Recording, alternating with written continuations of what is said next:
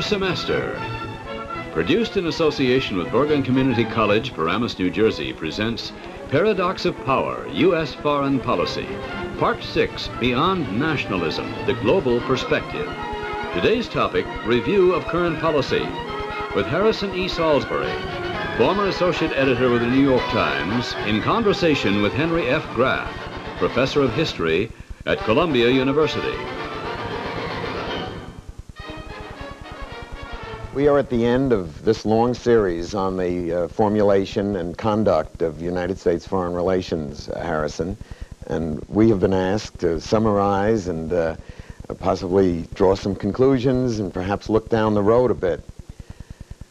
Suppose I begin with uh, human rights, uh, the innovative slogan of this administration, the tag of this administration in international affairs, among some others, but certainly the most dramatic. How useful is the public advocacy of human rights internationally uh, as an instrument of foreign policy formulation, do you think?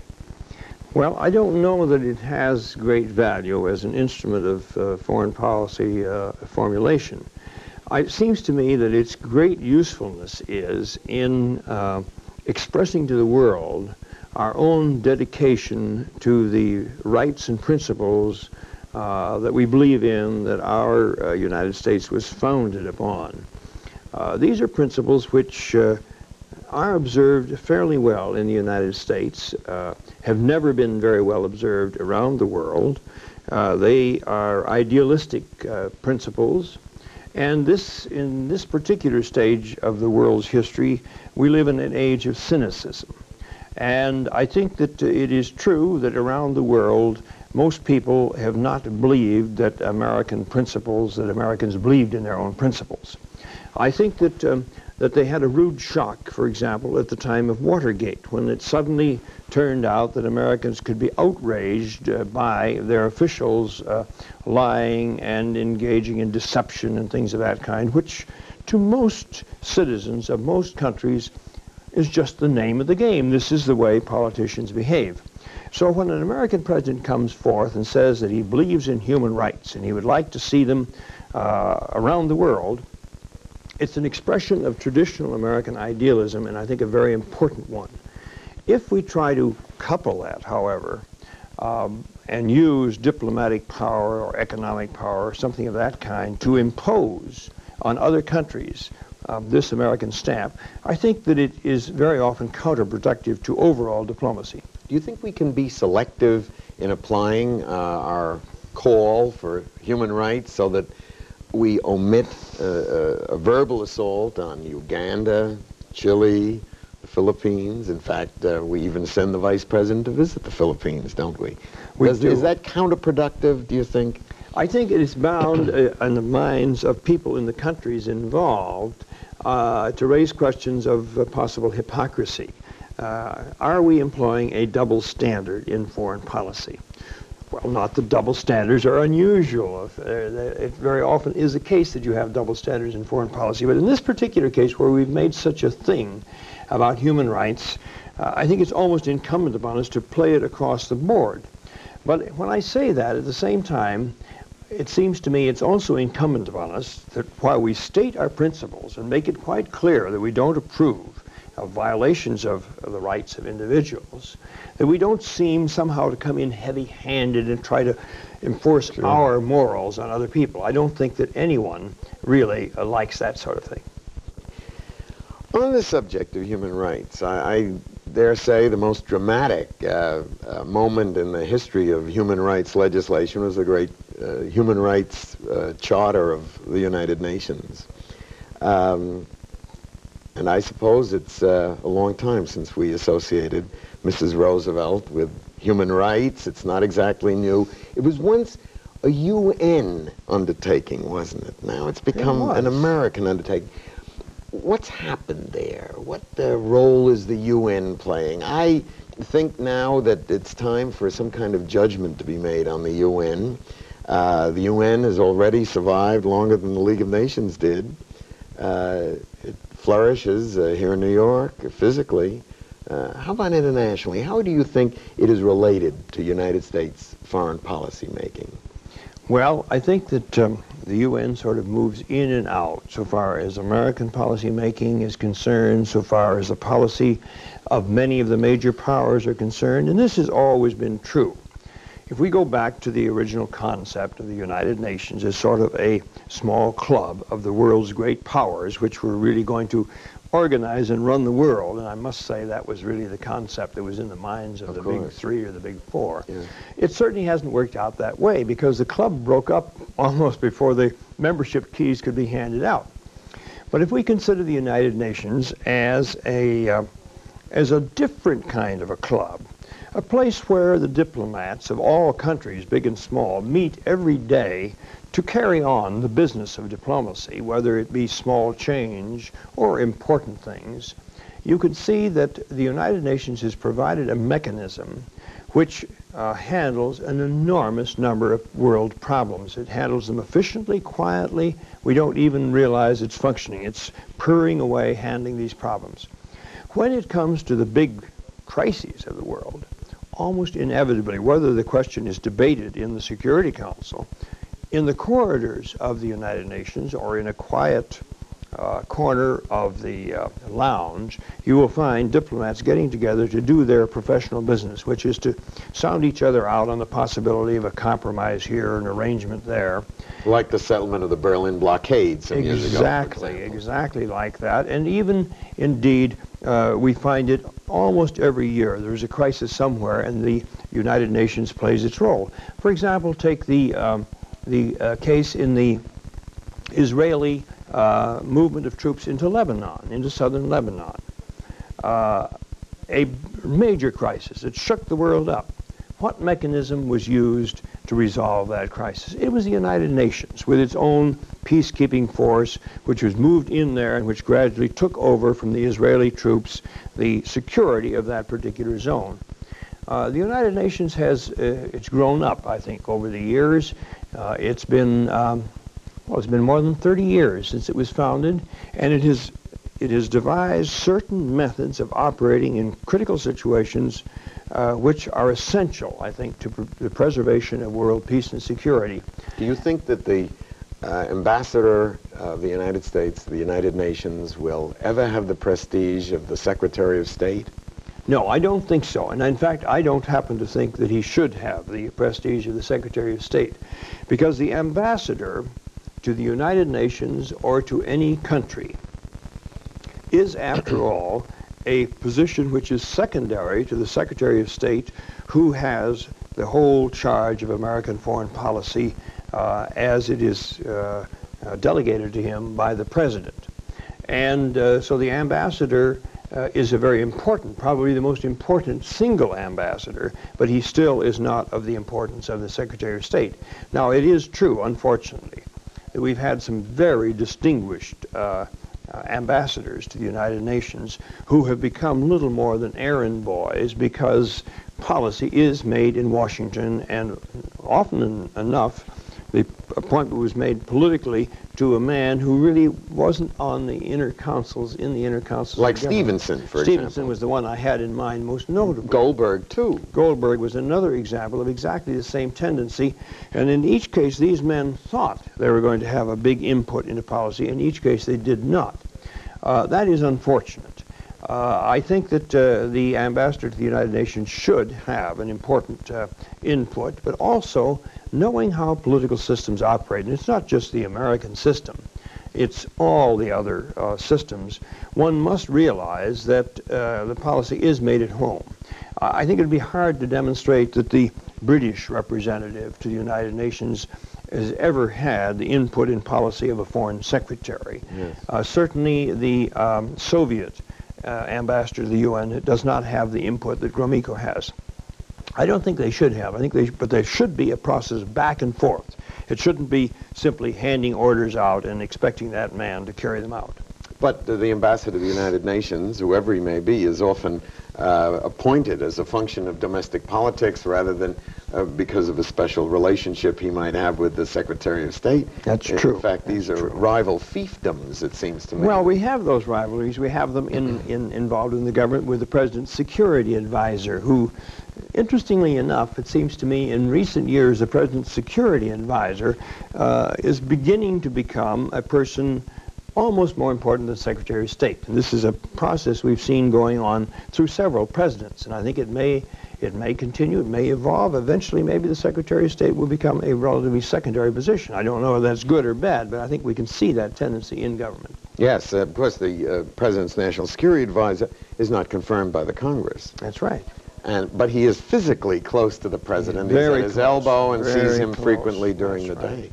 I think we'd have to say that beginning with President Kennedy, uh, that the security advisor has been a very important, uh, a more important man than the Secretary of State. Some of this, of course, grows out of the fact that uh, in the world that's emerging, we will have crises that become almost uh, always potentially nuclear crises. And the, the White House has been transformed into a kind of command post so that uh, you will have, uh, perhaps not as dramatically, but uh, surely we will have repetitions of the kind of situation that obtained during the Cuban Missile Crisis. That's true. we sat day long, night long at sessions determining policy in the White House itself.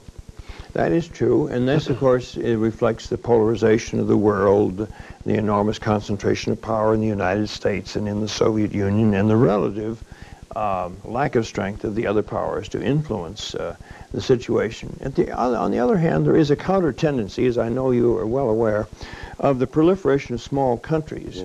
Which is And- one of the reasons for the problems at the UN. That's right. Uh, they, they, they, they proliferated to the point at which I can't even count. Uh, there must be 130 members of the UN. I remember years ago, Dag Hammarskjöld uh, saying to me and, and some of my colleagues that uh, they weren't behaving like a parliament either, so the No. blocks were That's discernible and deals were not being made between blocks. They were individual uh, entities. That's true. And the same thing affects uh, the overall course of foreign policy in the world.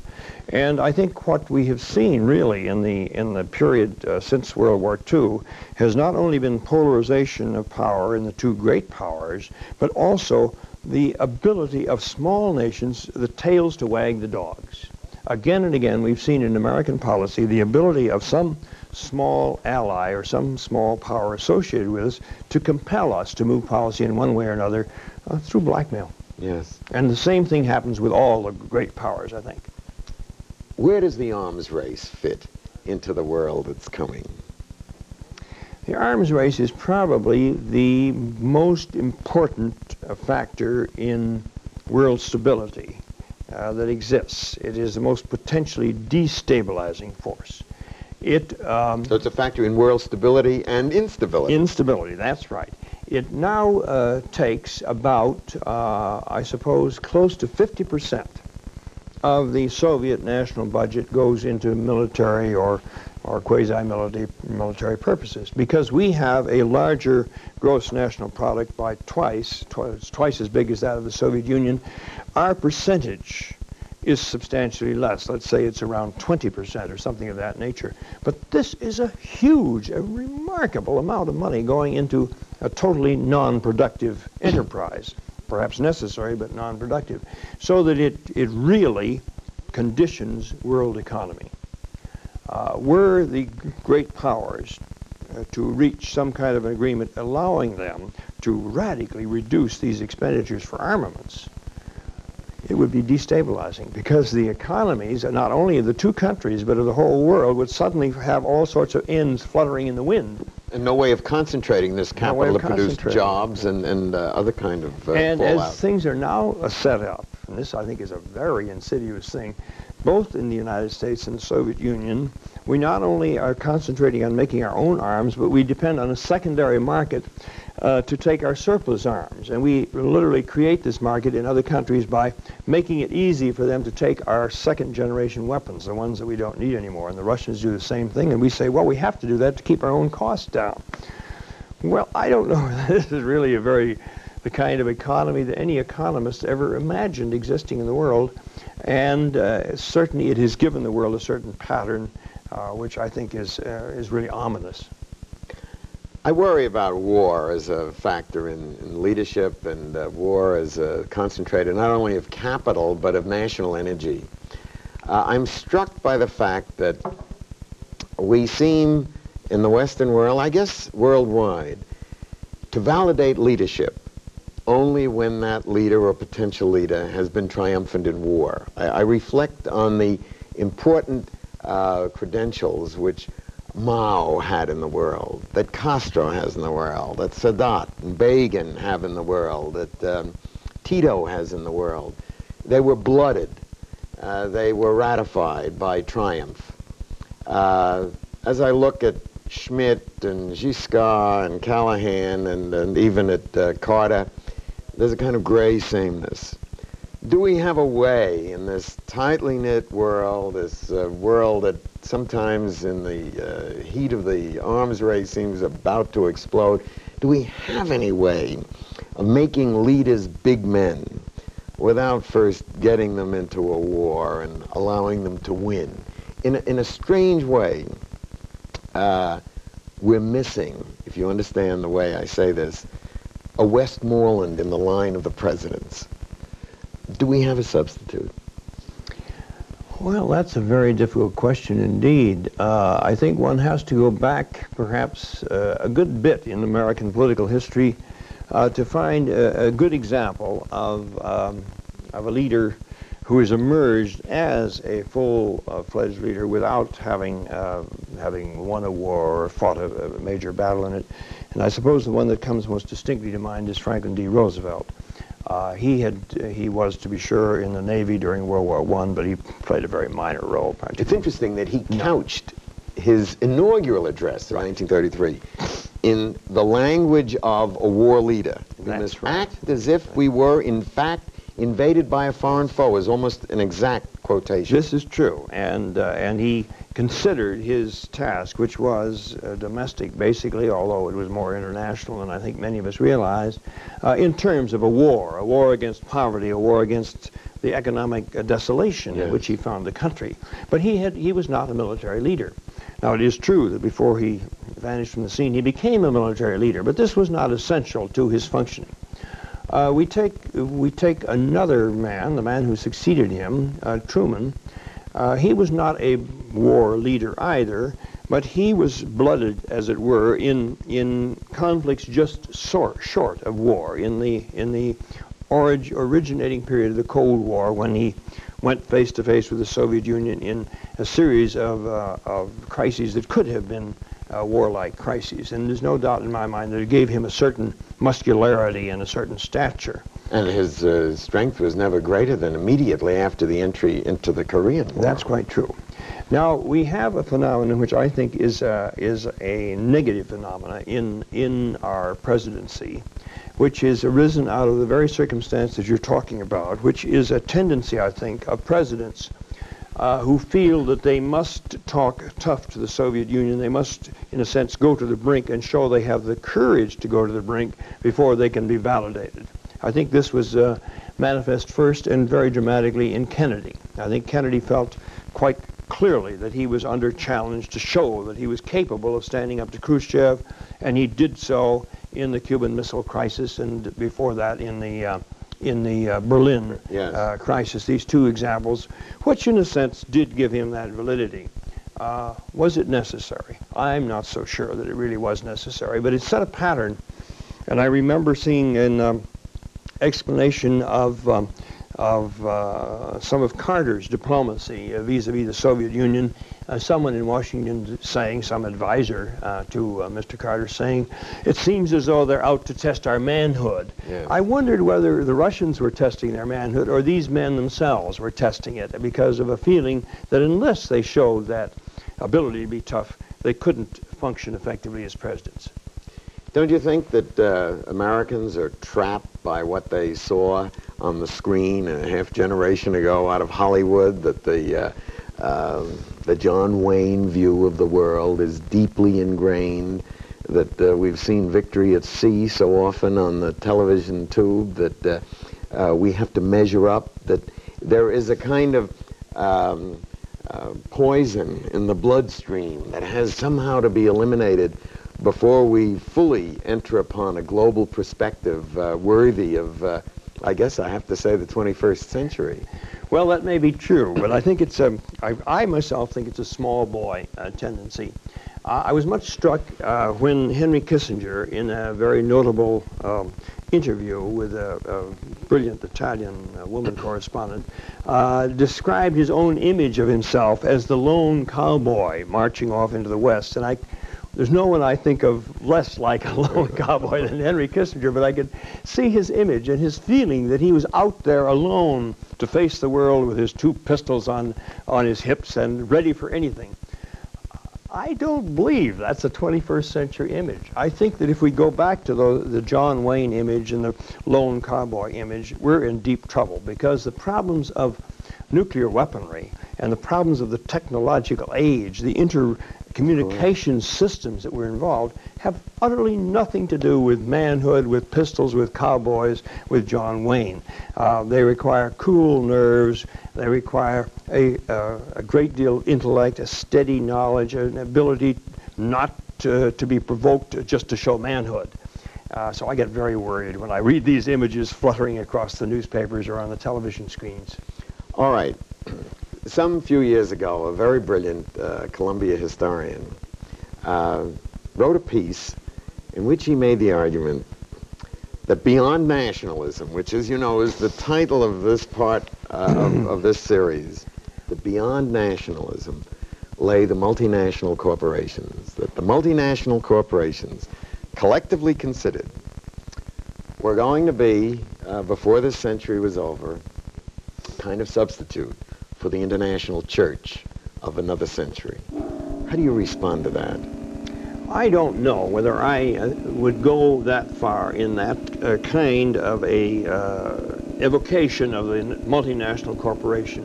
It seems to me the multinational corporation plays a very important and in, an increasing role in the world but I don't see them acquiring that enormous power to influence the course of events, uh, which, let's say, the Roman Catholic Church played in the high heyday of its enormous world power, where, where the governments, the monarchies of Europe were really all subordinate to that great power. Uh, truly, a multinational corporation can influence a small country, its economy, and its politics. Can they influence a great country like the United States or the great countries of Europe? I, I, they can move them around to a certain extent, but we've, we've developed a great deal of antagonism toward that sort of thing in the United States in recent years. Now, that antagonism grows probably out of the felt uh, belief that um, we have interests that are independent of business interests, that uh, some of these interests are based on sentiment, some on needs, security needs that are independent even of the best uh, economic needs of some of the major corporations. Do you think that you could give your mind for a minute or two to the relationship between interest and sentiment in the making of foreign affairs? Well, I think that uh, sentiment is often a much more important ingredient than is perceived because it's almost an in, invisible element. I think we have an example of that at the present time as far as China is concerned. I don't think Americans quite realize it, but they have a very strong emotional attachment to China. I'm not talking about the sort of disenchantment that followed the rise of Mao and the perceived so-called loss of China. Uh, the emotional attachment to China beginning in the middle of the 19th century and fed by, by reading of romance, by the China trade, by the missionaries, all the different kinds of involvement, and also by the fact that we didn't participate, as we saw it in any event, in the rape of China, uh, has created a rather uh, a favorable ground, a favorable sentimental ground for uh, China policy in this country. Uh, and excuse me, we've also had ups and downs. Oh, bad yes. people, then oh. good people. Also the Japanese, I must Japanese say, as we're talking about Asia. The chrysanthemum people, than the people of the sword. That's right. And of course we've had we've had the same kind of image with England, which once was the enemy, and then we have a very now I think a very sentimental feeling Feel toward England. England yes. France, we've we once were very sentimental about. La now we're, France, we're rather yes. cynical about the French. We think they're out to to do us in. The Germans, we've gone from Gemütlichkeit to hatred of the Nazis and back again to uh, admiration, admiration, that sort of thing. The Russians, I'm afraid, uh, all the way back to Catherine the, the Great, we've pretty been much been antagonistic to for one reason or another. These are all important factors which uh, probably politicians instinctively take into consideration in making policy, but maybe the public at, at large doesn't perceive and realize how influential they are in making policy. On, we have only a minute or two on this matter to what extent are the various ethnic groups in America determinants of foreign policy along the lines of sentiment quite as much as uh, of interest? They can be very, very important. I think there's no question. And troublesome. There's no question that the uh, the uh, Jewish uh, element in the United States, with its enormously strong and principled and also sentimental attachment to Israel, uh, acts as a major determinant in policy vis-a-vis -vis, Israel. That's probably the strongest single link that we have today. But in World War I, uh, the German minority in this country played a major role, and even in the years before World War II, in breaking the movement of the United States toward war. The Irish uh, minority in this country has always given us a special policy toward Ireland. The Italian population, uh, to a certain extent, a special policy toward the Poles. The Poles, absolutely the Poles. All of these elements do feed into this marvelously complex tap tapestry, which we call American foreign policy. We're the only nation in the world that has this fundamental problem, dealing with polit policies that have to be satisfactory, more or less, to significant elements who play a part in domestic politics. Is this a price for our kind of democracy? Is this a price for democracy in the making of foreign policy? It's particularly our price. It doesn't exist, as you say, in any other country. Many other countries simply don't know what, we're what we talk about when we say have to think about this because the Poles in Buffalo can vote a congressman out of office. Do you think there is any way then that we can talk of a national interest as uh, compared with the sum total of ethnic oriented interests that are oh, constantly I being so. I think so, because I think a national interest in this country will supersede and superimpose over any specific interest if it's big enough and sharp enough. Well, thank you very much, uh, Harrison. Uh, I think that we've cut this right on the mark and uh, we haven't talked too much. Thank you.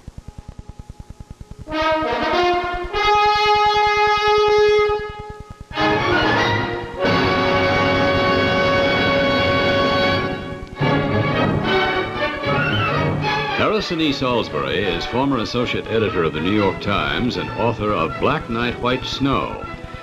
Henry F. Graff is professor of history at Columbia University and author of The Tuesday Cabinet.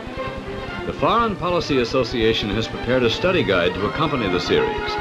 For further information and a free brochure, write to Dr. Philip C. Dolce, Bergen Community College, Paramus, New Jersey, 07652. This is the final program of the summer semester series, Paradox of Power, U.S. Foreign Policy. The following colleges are offering credit for a course based on this series.